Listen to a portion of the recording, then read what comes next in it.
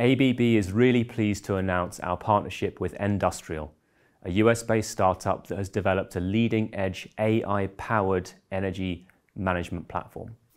Their technology helps companies to manage the energy intensity of their operations, cutting costs by hundreds of thousands, if not millions of dollars a year, and at the same time, dramatically reducing their carbon footprint. Ndustrial's energy intensity optimization software is unique.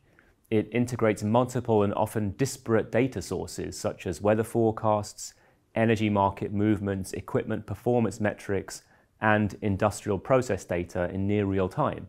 So companies can analyze, optimize, and predict their energy usage, energy costs, and carbon content per unit of production. This means they can maximize productivity, save energy, and reduce costs and emissions.